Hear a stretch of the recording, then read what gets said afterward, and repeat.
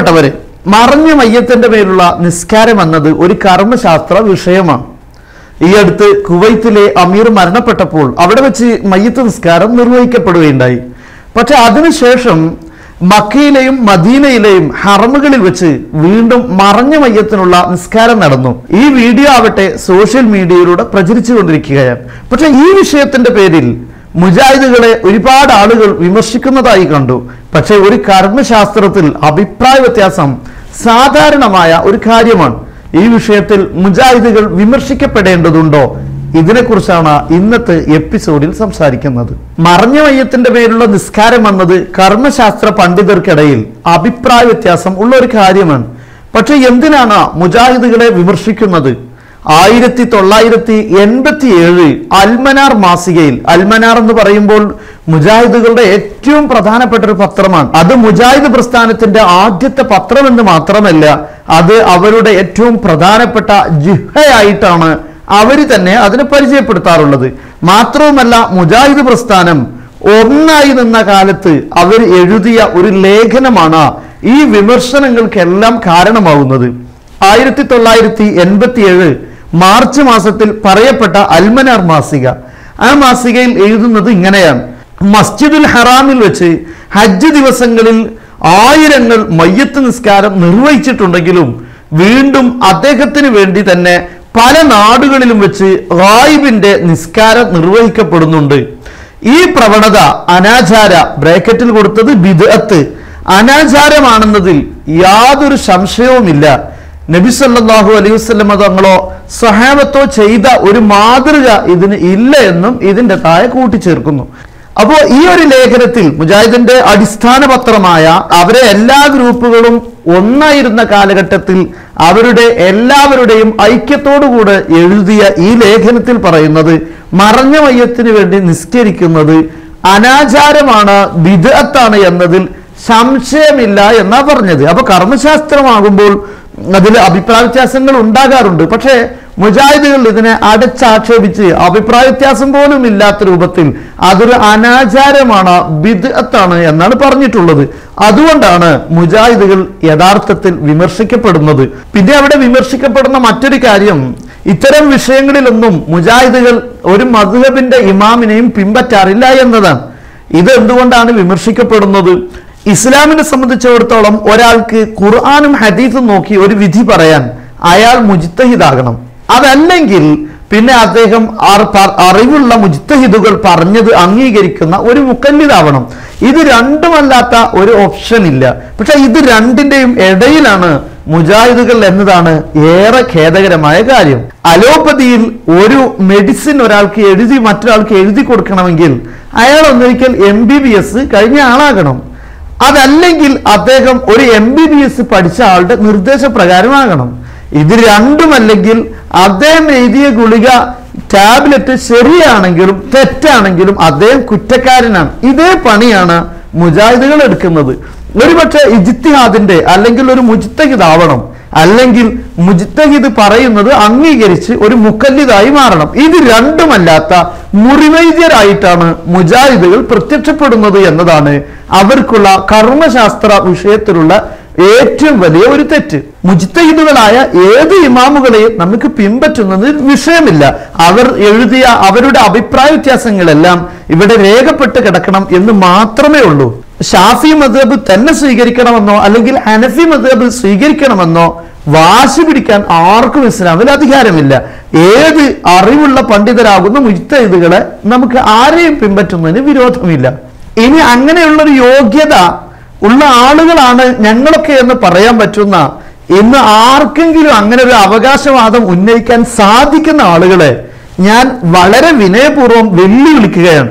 അങ്ങനെ സാധിക്കുന്ന ആളുകൾക്ക് അങ്ങനെ ഒരു മുജിത്തഹിദിനുണ്ടാകേണ്ട അതല്ലെങ്കിൽ നമ്മൾ M B B S doctor ആണെന്ന് പറയുമ്പോൾ അയാൾക്കുണ്ടാവേണ്ടത് അതിന്റെ സർട്ടിഫിക്കറ്റ് ആണ് അംഗീകൃത സർട്ടിഫിക്കറ്റ് ആണ്. എന്ന പോലെ ഒരു മുജിത്തഹിദ് ആവാൻ ഇസ്ലാമിൽ എന്തൊക്കെയാണ് യോഗ്യത പറഞ്ഞിട്ടുള്ളത് ആ യോഗ്യത ഒത്തിണങ്ങിയ ഒരാളെ കാണാൻ ഞാനും ആഗ്രഹിക്കുന്നുണ്ട്. അങ്ങനെയുള്ള ഒരാൾ ഇന്ന് ഭൂമിയിൽ ആരെങ്കിലും ഉണ്ടെങ്കിൽ ഞാൻ വെല്ലുവിളിക്കുകയാണ് അവരെ ഒന്ന് പറഞ്ഞു തന്ന്.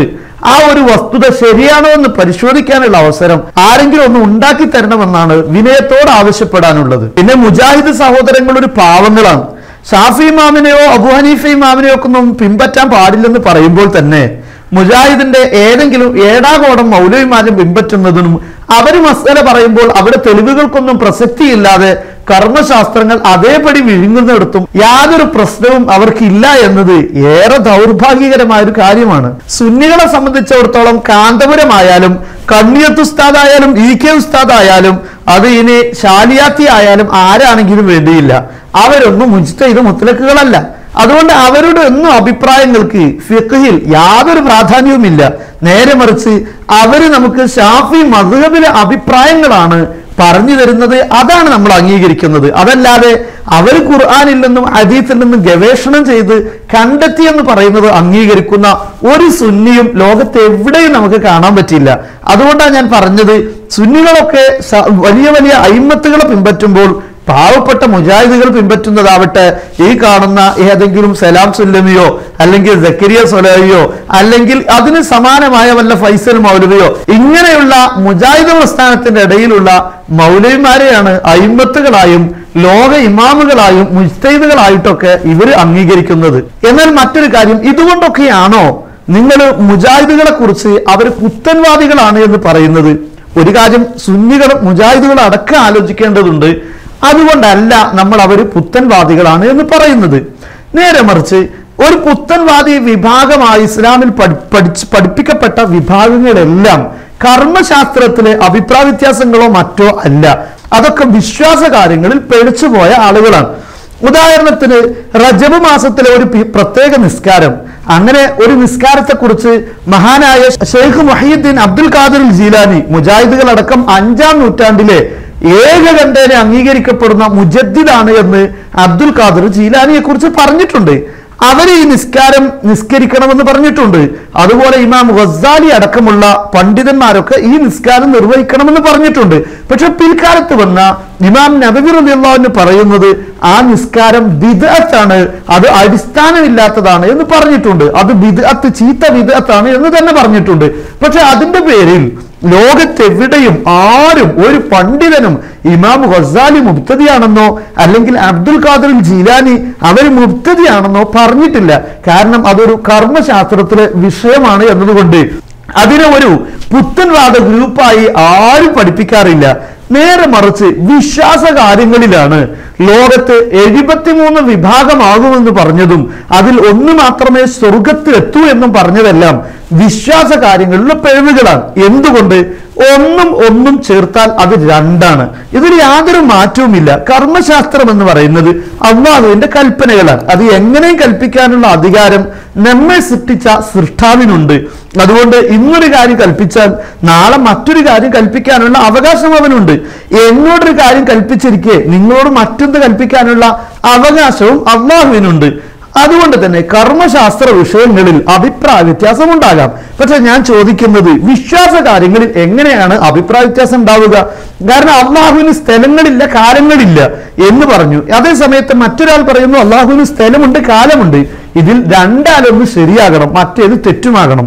അല്ല ഏകനാകുന്നു മറ്റൊരാൾ പറയുന്നു അല്ല അള്ളാഹു രണ്ടെണ്ണമുണ്ട് എന്നാണ് പറയുന്നത്. പക്ഷെ ഇത് ഏകനാണ് എന്ന് പറഞ്ഞത് ശരിയാണെങ്കിൽ രണ്ടാമത് പറഞ്ഞത് തെറ്റാണ്. രണ്ടാമത് പറഞ്ഞതാണ് ശരിയെങ്കിൽ ആദ്യം പറഞ്ഞത് തെറ്റാണ്. അതാണ് വിശ്വാസ കാര്യങ്ങളുടെ പ്രത്യേകത. ഒന്ന് ശരിയും ഒന്ന് തെറ്റുമായി മാറും. കർമ്മശാസ്ത്രം അങ്ങനെയല്ല. അതുകൊണ്ട് നമ്മൾ മുജാഹിദുകൾ വിദഗ്ധക്കാരാണ് എന്ന് പറയുന്നത്. അവർ മാല ചെല്ലാത്തത് കൊണ്ടോ അതല്ലെങ്കിൽ മൗലിക ഓതാത്തത് കൊണ്ടോ അല്ലെങ്കിൽ ബദർ മൗലിക ഓതാത്തത് കൊണ്ടോ അല്ല. അതിനെ വിമർശിക്കുന്നത് കൊണ്ടുമല്ല. അത് വിമർശനം കർമ്മശാസ്ത്രപരമായ വിഷയമാണ്. അതിന് നമുക്ക് മറുപടി ഉണ്ട് അവർ പറയുന്നത് തെറ്റാണെന്ന് നമുക്ക് സമർത്ഥിക്കാനും സാധിക്കും. പക്ഷേ അതിന്റെ പേരിലൊന്നുമല്ല മുജാഹിദുകൾ പുത്തൻവാദികളാണ് എന്ന് പറയുന്നത്. ഇത് നമ്മൾ നന്നായി മനസ്സിലാക്കണം. മുജാഹിദുകളെ കുറിച്ച് പഴയ കാലത്ത് ഹവാരിജികൾ എന്ന് അവരെ കുറിച്ച് പറയപ്പെടുകയും അവർ മുബ്തദികളാണ് എന്ന് പറയപ്പെടുകയും ചെയ്യുന്നതിന്റെ കാരണം മറ്റൊന്നുമല്ല അള്ളാഹുവിനെ സംബന്ധിച്ചുള്ള അവരുടെ വിശ്വാസം. അള്ളാഹു ആകാശത്തിൽ അറഷി എന്ന് പറയുന്ന സൃഷ്ടിയിൽ ഇരിക്കുന്നവനാണ് എന്ന് അവരൊക്കെയും വിശ്വസിക്കുന്നു. ഇതുകൊണ്ടാണ് ഇബിന് തേമിയെ കുറിച്ചും പല പണ്ഡിതന്മാരും വിമർശിച്ചിട്ടുള്ളത്. അപ്പോൾ ആ വിശ്വാസം തീർത്തും തെറ്റാണ്. കാരണം പ്രപഞ്ചം എന്ന് പറയുന്നത് മുകളിൽ താഴെ വലത് ഇടത് ഇതെല്ലാം സ്ഥലങ്ങളാണ്. ഇതൊക്കെ അള്ളാഹുവിന്റെ സൃഷ്ടികളാണ്. അറഷും അള്ളാഹുവിന്റെ സൃഷ്ടിയാണ്. ആകാശം അള്ളാഹുവിന്റെ സൃഷ്ടിയാണ്.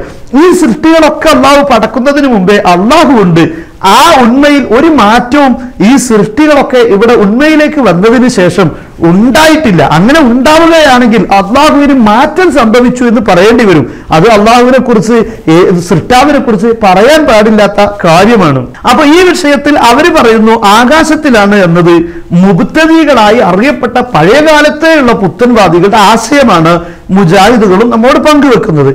അതുപോലെ തന്നെ അള്ളാഹുവിന് അവയവങ്ങളുണ്ട് അള്ളാഹുവിന് കൈയുണ്ട് അള്ളാഹുവിന് കാലുകളുണ്ട്. ഇത്തരത്തിലുള്ള വിശ്വാസങ്ങളെല്ലാം അത് വിശ്വാസ കാര്യങ്ങളിലുള്ള അവരുടെ ഒറ്റപ്പെട്ട അഭിപ്രായങ്ങളാണ് ഒറ്റപ്പെട്ടത് എന്ന് പറയുമ്പോൾ അവർ മാത്രമല്ല പഴയ കാലത്തും പുത്തൻവാദികൾ എന്ന് പറയുന്ന ഹസവിയത്ത് കറാമിയത്ത് തുടങ്ങിയ ആശയക്കാര് മുജസ്സിമത്ത് മുഷബിയത്ത് എന്ന പറയപ്പെടുന്ന വിഭാഗക്കാരൊക്കെ അങ്ങനെയാണ് വിശ്വസിച്ചിട്ടുള്ളത്. അവർക്കെതിരെയാണ് കഴിഞ്ഞ കഴിഞ്ഞകാല പണ്ഡിതന്മാരെല്ലാം അവരുടെ ഗ്രന്ഥങ്ങൾ രചിച്ചത്. പക്ഷേ അവരുടെ ആശയം തന്നെയാണ് യാതൊരു മാറ്റവും ഇല്ലാതെ ഇന്നും ഇത്തരത്തിലുള്ള പുത്തൻ പ്രസ്ഥാനക്കാർ കൊണ്ടു നടക്കുന്നത് ആ വിശ്വസിക്കുന്നത് എന്നത് കൊണ്ടാണ് അവരെ സംബന്ധിച്ച് നമ്മൾ പുത്തൻവാദികൾ എന്ന് പറയുന്നത്. അതുപോലെ സമാനമായ വിശ്വാസ കാര്യങ്ങളിലുള്ള വേറെയും ചില അഭിപ്രായ വ്യത്യാസങ്ങളൊക്കെ ഉണ്ട് അതുകൊണ്ടാണ് അവരെ നമ്മൾ പുത്തൻവാദികൾ എന്ന് പറയുന്നത്. അതല്ലാതെ ഒരു കർമ്മശാസ്ത്രത്തിൽ അത് സ്വാഭാവികമായ അഭിപ്രായ വ്യത്യാസം ഉണ്ടാകാം. ഇനി അവർ മധുരബൊന്നും അംഗീകരിക്കാതെ ആണെങ്കിൽ അതിന് അതൊരു പുത്തൻവാദം തന്നെയാണ്. പക്ഷെ അവർ പുത്തൻ വിഭാഗം പുത്തൻ കക്ഷി എന്ന് നമ്മൾ എഴുപത്തിമൂന്നിൽ ഈ പെഴ്ച കക്ഷികളായി അറിയപ്പെടുന്നവരിലൊക്കെ അവരെ ഉൾപ്പെടുത്താനുള്ള കാരണം അതൊന്നുമല്ല. നേരെ മറിച്ച് വിശ്വാസ കാര്യങ്ങളിലുള്ള പിഴവാണ് അതല്ലാതെ മറഞ്ഞ വയ്യത്തിന്റെ പേരിൽ നിസ്കരിക്കാത്തത് കൊണ്ടല്ല അവർ പുത്തൻവാദികളാണ് എന്ന് നമ്മൾ പറയുന്നത് എന്ന് എല്ലാവരും മനസ്സിലാക്കിയിരിക്കണമെന്ന് ഓർമ്മപ്പെടുത്തുന്നു. വീണ്ടും കാണാം. അസ്സലാമലൈക്കും വറഹമത്തുള്ള